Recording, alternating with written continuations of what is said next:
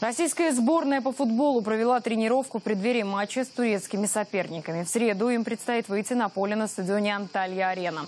Это будет первая встреча под руководством недавно назначенного главного тренера Станислава Черчесова.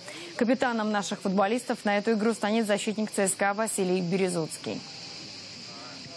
Настроение нормальное, состояние тоже вроде неплохое.